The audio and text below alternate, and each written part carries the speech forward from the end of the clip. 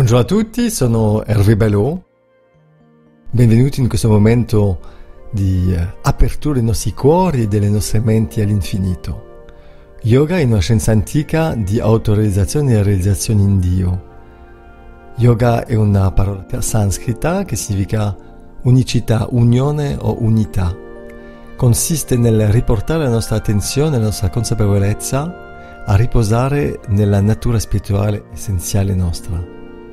Yoga è conoscere la nostra natura spirituale e vivere in armonia con essa. Allora oggi andiamo a vedere questi grandi maestri del Kriya Yoga, tutti quelli che hanno potuto perpetrare e convogliare questa grande scienza, detta la scienza delle religioni, e tecnologia, biotecnologia.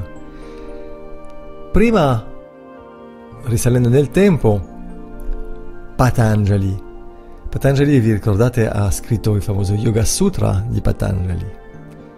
Circa nell'Ottocento prima di Cristo, questo scienziato messe per iscritto le grandi verità vediche sotto forma di 195 aforismi, sono delle thread, sono dei fili, sono dei, come delle suture, delle frasi molto corti che potevano essere memorizzate facilmente dai studenti spirituali e poter essere processate e meditate. 800 prima di Cristo significa un momento di coscienza molto bassa, è il periodo discendente del Kali Yuga, momento di coscienza molto velato, lo vedremo in una, un podcast uh, dedicato ai Yuga, grandi periodi, queste fasi di 24.000 anni, penso che sia il podcast 22. Nel Yoga Sutra Patanjali definisce già il Kriya Yoga, Tapas, Svadhyaya, Ishvara Pranidan, quindi l'autodisciplina, l'introspezione e la resa al divido sono il Kriya Yoga.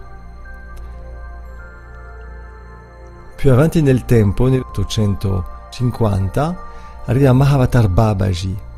Babaji è un uh, yogi detto immortale che vive nell'Himalaya Secondo la tradizione, Babaji nel 1861 iniziò l'Ahiri Mahashaya alla, alla tecnica e alla scienza del Kriya Yoga.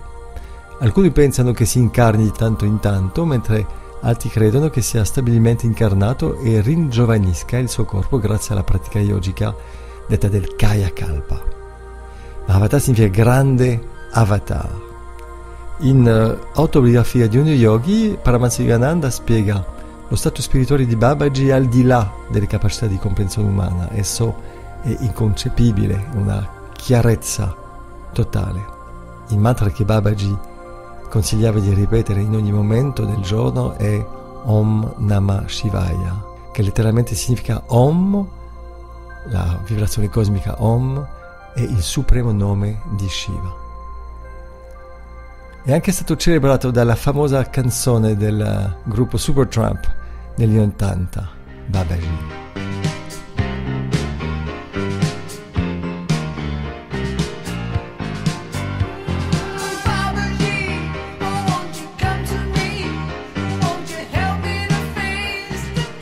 L'Air Shaya, siamo nel 1830, è un discepolo di Mahavatar Babaji. Mahashaya significa un sanscrito grande anima. Riceve l'iniziazione al Kriya Yoga da Mahavatar Babaji nel 1861, come scritto nei suoi scritti. L'Arimashaya è anche il guru, il precettore spirituale di Sri Yukteswar, di cui parleremo appena dopo. È un originale parmi le persone sante indiane, nel senso che è un capo di famiglia, è sposato, ha una famiglia, dei figli e lavora come contabile per il governo indiano britannico dell'epoca. L'Arimashaya vive con la sua famiglia a Varashani e non in un tempio, in un monastero nelle montagne, quindi è veramente un padre di famiglia che ha ispirato tante persone, di cui il vostro servitore. Yogananda, nella sua autobiografia di uno yogi, scrive che l'Airmashaya è stato scelto da Mahavatar Babaji per introdurre nel mondo la pratica perduta del Kriya Yoga, quindi è stato un gran periodo tra l'800 prima di, di Cristo e 1800 era rimasta solo nascosta in questi tempi monasteri nascosti. Tra i discepoli della Remashaya comprendono due genitori di Yogananda e anche Sri Yukteswar, guru di Yogananda. Guru significa insegnante. Sri Yukteswar è stato un astrologo vedico, un grande guru, un grande maestro. È un discepolo di Lahrima Ashaya e il maestro di Paramahansa. Era un Jnana Yogi, un yogi della conoscenza. Fu uno dei uh, grandi insegnanti guru indiani più rispettati nei suoi tempi, pur avendo una cerchia molto ristretta di allievi a causa della stretta disciplina che esigeva di loro. Studioso della Bhagavad Gita, che fa parte delle, dei Veda e anche della Bibbia, fondò parte del suo insegnamento sulle similitudini tra la tradizione cristiana e quella indù. Nel 1894, su richiesta Babaji, raccolse delle parti sue riflessioni in un piccolo libro intitolato uh, The Holy Science, la scienza sacra. Sri Yukteswar affidò al suo allievo Paramahansa Yogananda la missione di portare in Occidente la tradizione dello Kriya e del Kriya Yoga che scatenò la partenza per la prima volta di Paramahansa Yogananda negli Stati Uniti, uno dei primi indiani a portare lo yoga in Occidente. Paramahansa Yogananda, il grande cigno, detto Mukundalal Ghosh, nasce nel 1893 è discepolo di Sri Yukteswar e maestro di Roy Jin Davis, il mio maestro. Yogananda è stato un bhakti yoga, è il yoga dell'amore. Ha vissuto gran parte della sua vita negli Stati Uniti ed è lui che ha introdotto per primo gli insegnamenti della meditazione del Kriya Yoga in Occidente, negli Stati Uniti, in particolare col suo libro, grazie al suo libro, Autobiografia di uno yogi. Nel 1910 divenne discepolo di Swami Sri Yukteswar a sua volta discepolo di Larry Marshall, come l'abbiamo visto prima. Nel 1920 arriva a Boston, negli Stati Uniti, in qualità di delegato indiano al Congresso internazionale delle religioni. Il suo intervento al congresso fu accolto da tutti con grandissimo entusiasmo, veramente una rivoluzione quello che stava raccontando. E poi è stato pubblicato questo intervento sotto il titolo La scienza delle religioni, ne parleremo dei libri consigliati. Nello stesso 1920 crea l'organizzazione Self-Realization Fellowship, SRF, lo scopo di diffondere nel mondo la scienza sacra del Kriya Yoga. Teneva lezioni di conferenza dove illustrava i precetti dell'antica filosofia vedica, ma sempre integrato con il cristianesimo. Faceva molto riferimento a Gesù e a San Francesco d'Assisi e riconosceva le grandi similitudini tra tutti gli altri saggi e santi di tutte le grandi religioni e tradizioni diede a migliaia di persone l'iniziazione al Kriya Yoga e non più solo ai, solo ai sannyasi rinuncianti. In India entrò in stretto contatto con Mahatma Gandhi e con lui divise gli ideali della resistenza passiva e della non violenza ahimsa. Mahatma Gandhi chiese a Paramahansa Yogananda l'iniziazione al Kriya Yoga negli anni 40. 1946 Autografia di uno yogi, una delle opere spirituali più importanti sulla filosofia indiana che eh, entra in Occidente. Grandi risonanze del libro, soprattutto negli anni 60 e 70, con tante connessioni tra la filosofia indiana e il pensiero hippie. Difatti Yogananda è uno dei personaggi che appaiono nella copertina del disco dei Beatles, Sgt. Peppers, e degli Yes, e anche di George Harrison con questo brano. George Harrison ci parla di Krishna, di Rama, Alleluia, Guru Brahma, Guru Vishnu, Guru Devo, Sri Maishri, Paramatma, Tasmai Shri, Hare Rama.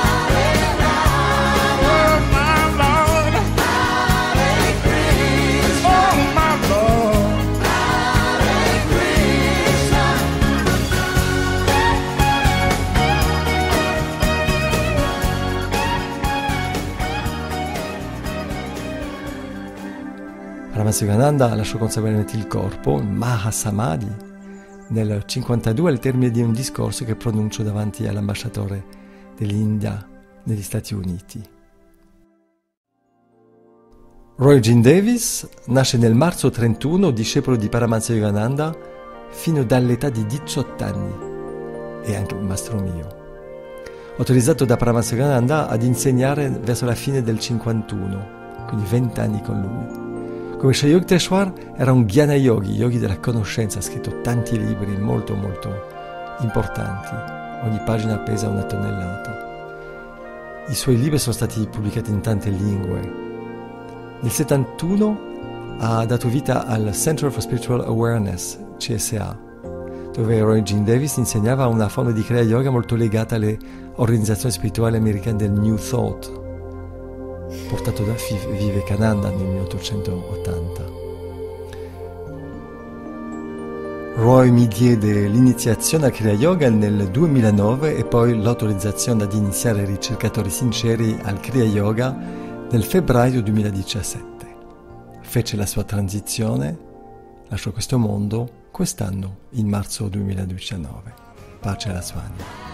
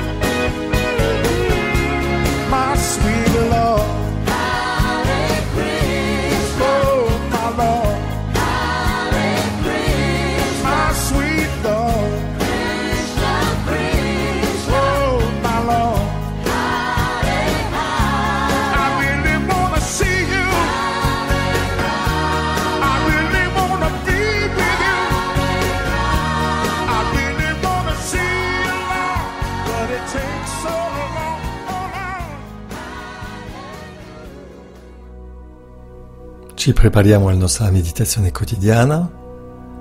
Comodamente seduti, teniamo la schiena eretta, non appoggiata, le spalle basse, rilassate, nuca allungata, senza tensione, spalle indietro, petto fuori, nuca allungata, mento basso, lo sguardo al terzo occhio, il Kutashta, Yin Tang per i cinesi. Lasciamo andare il respiro al suo ritmo naturale senza controllarlo. Prendiamo anche questo Ardha Keshani Mudra con la punta della lingua verso il palato molle. Adesso entriamo all'interno. Apriamo il nostro cuore, la nostra mente all'infinito, alla pura coscienza onnipresente. Siamo immersi in essa, si esprime in noi, intorno a noi, attraverso di noi, in tutti e in tutto quello che è.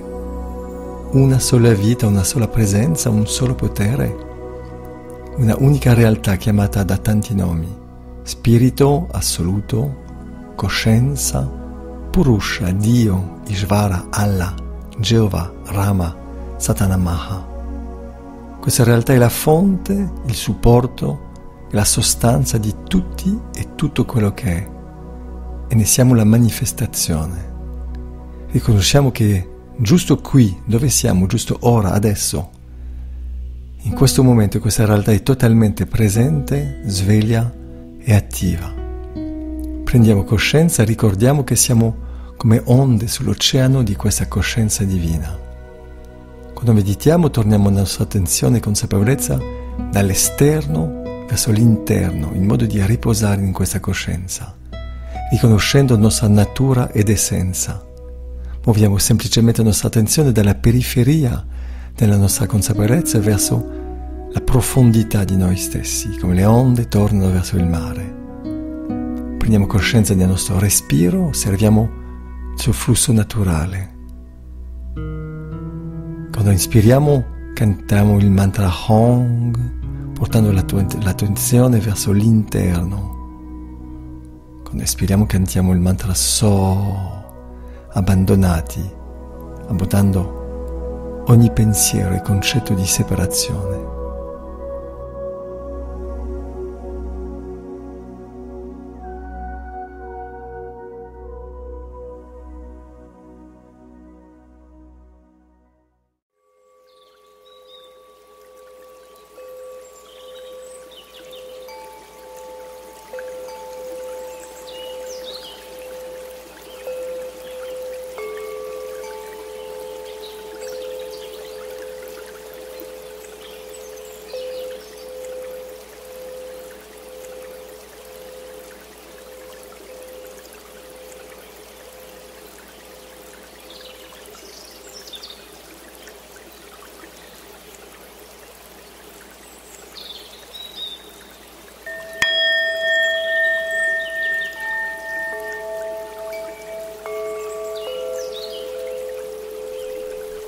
Abbandoniamo l'attenzione sul respiro e sul mantra, riprendendo consapevolezza del nostro corpo fisico, del suo peso, la sua massa a terra.